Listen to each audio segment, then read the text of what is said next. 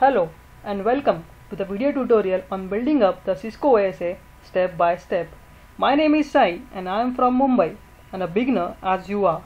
Today we are going to do the basic configurations which are needed to get the ASA up and running. Let's check the agenda. We have to set the privilege mode password. We have to name the appliance and configure the interfaces. Let's check the topology. This is our Cisco ASA, our internal network, our external network and the DMZ segment. Now to get the ASA up and running we have to do certain basic requirements. The basic configurations which are requirement 1 privilege mode password. By default when ASA comes out of a box it has no password. So as per this requirement we have to set our password as secret at the rate 123 let's do. Right now this is a Cisco ASA and we are in the enable mode. Let's enter the privilege mode. Command for that is enable. Now we are prompted for the password. But as I said there there is no password. Let's try yes. See we have allowed to enter into the privilege mode. So as per our requirement we have to configure the privilege mode password. And for that we have to first go into the global config mode. The command for that is configure terminal. Now the command to enable the privilege mode password is enable password and give the password which is secret at the rate 123 enter. Now we have enabled the privilege mode password. Let's check. Exit to get out of the global config mode. Now we are in the privilege mode. One more exit to get into the enable mode. Now let's try to enter into the privilege mode without any password. Enable. We have prompted for the password. Now as we did before, let's try to enter without any password. No, it says invalid password. So we have to give some password which we configured earlier. Let's give a password which is secret at the rate 1 2 3 yeah see as we enter the correct password we are allowed to enter into the privilege mode. Now let's check the other requirement. Requirement 2 says we have to name our device. By default when ASA comes out of box it has a plain name of Cisco ASA so as per our requirement we have to change the name to mountain. Let's go and do that similarly for host name you have to first go into the global config mode. Configure terminal. And the command for that is host name and provide the name which is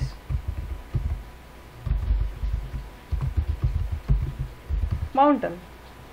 And as soon as we hit enter we can see the name has been replaced and the name which we have given has been accepted. Now let's check the last and the final requirement. Requirement 3 says we have to enable our interface gigabyte 1 address him with IP 192.168.1.1 slash 24 name it inside and a security level of 100 so let's do exit. First let's check the interface status. Command for that is show interface IP brief it says interface 1 is unassigned unset and down. So let's configure. First configure terminal and to configure the interface we have to go into the interface config mode.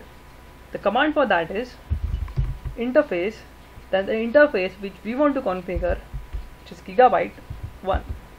Now for assigning IP address the address is the command is sorry IP address 192.168.1.1 and the subnet mask which is 255.255.255.0 no shut for enabling the interface.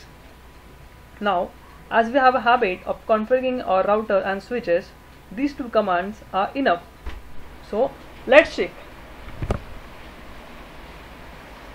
Let's check.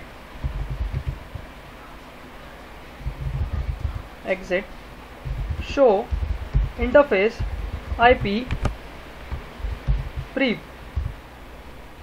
yet we can see the interface one in un unassigned but it's up. So what has been which have kept the interface not assigned. So the command for that are we have to name the interface and assign a security level. So without that interface never comes up. Let's do the naming. Interface gigabyte 1 and command for that is name if and the name. Now we have set the name. And as you see the default security level of 100 has been taken. Cisco has a pre-design where a security level of 100 is given to the interface which has the name inside. And the rest all interfaces are assigned 0 so if we don't want to inter if you don't want our predefined security levels these are the ones which get installed. But if we want our security levels then we have to manually do that. So the command for that is security level and 100 now let's check the interface status. Command for that show interface IP brief and now you can see the interface is up with IP address. Now let's check the next requirement. Interface 2 has to be assigned an IP address of 192.168.2.1 name it DMZ and a security level of 75 so let's do that configure terminal to enter into the global config mode interface gigabyte 2 to configure the interface gigabyte 2 then IP address 192.168.2.1 255 255 255.0 the subnet mask. Name if DMZ C security level of 0 is given by default as I said earlier. Now no shut and exit. Let's check the last requirement. No the security level of 75 has to be given. See a mistake done by me. This command should not be and we cannot execute over here for this we have to go again in interface gigabyte 2 and then security level 75 exit. And the last requirement says the interface 0 has to be addressed as 192.168.3.1 name it outside and security level of 0 let's do that. Interface gigabyte 0 IP address 192.168.3.1 subnet mask 255.255.255.0 no shut. Name if outside and the security level of 0 let's check our interface status exit.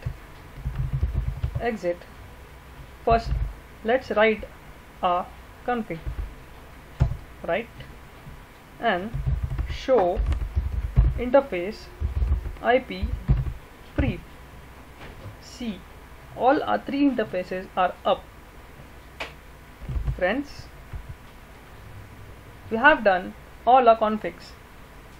Thank you for watching this video tutorial if you like the content and the way of explanation please hit the like button and subscribe to my channel.